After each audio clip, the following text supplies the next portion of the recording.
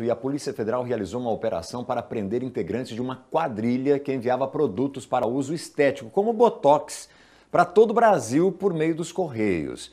E não eram apenas os documentos que não correspondiam com as embalagens, não. Os itens comprados por profissionais de saúde também eram falsificados. A gente tem essa reportagem com esses detalhes.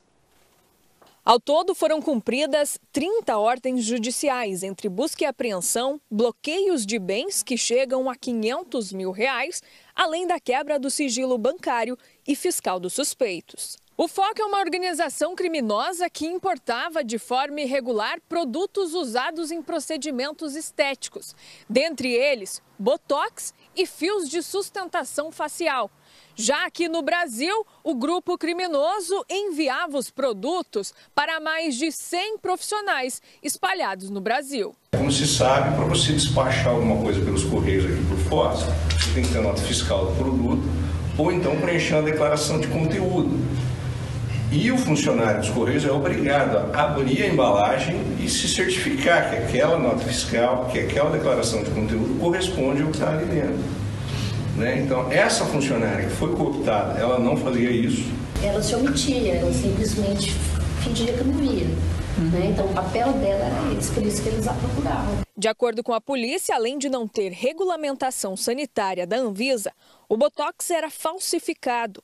Essas mercadorias foram, durante esse, esse prazo da investigação, foram adquiridas por profissionais é, que atuam na área dos procedimentos estéticos.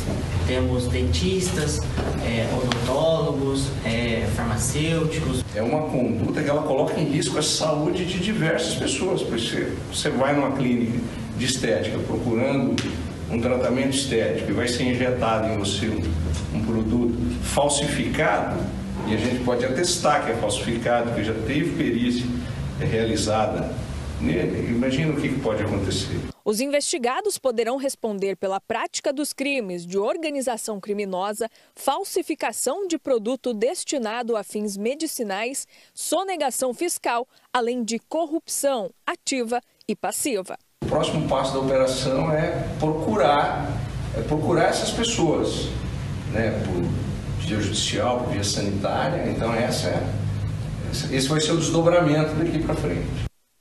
Mais informações do setor de segurança pública você encontra também logo mais às 6 horas da noite no Cidade Alerta ou ainda no nosso site, o RIC+.